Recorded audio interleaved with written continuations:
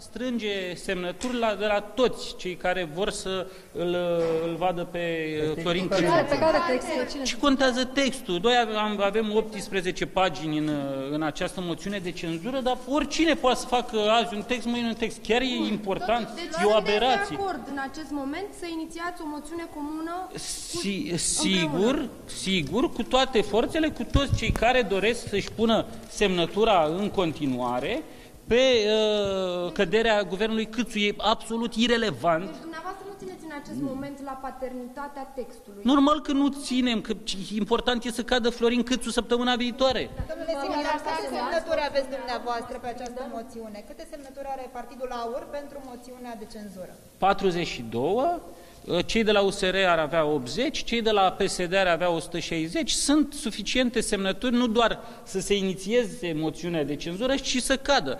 Dar nu știu cine stă în spatele acestor partide, dețin așa mult de un punct și o virgulă care sunt irelevante. Românii trebuie să scape de Florin Câțu. Dacă asta este dorința lor sinceră, Haideți să uh, ne punem, uh, uh, să ne punem semnătura cu toții pe un text simplu. Florin Câțu trebuie să, să plece Când din ar funcție. trebui depusă această moțiune de cenzură? Lunea viitoare, de exemplu, la prim, Ați primul discutat birou și acest permanent. lucru cu domnul Moșteanu?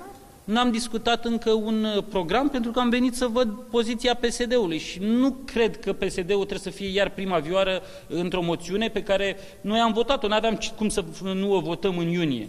Dar Dacă- a fost, dacă a fost un PSD eșec.